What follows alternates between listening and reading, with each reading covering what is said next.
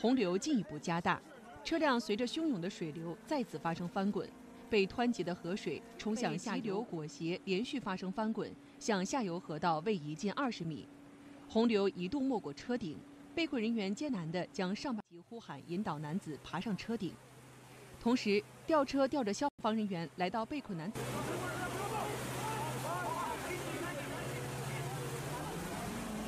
什么那车辆？出来呀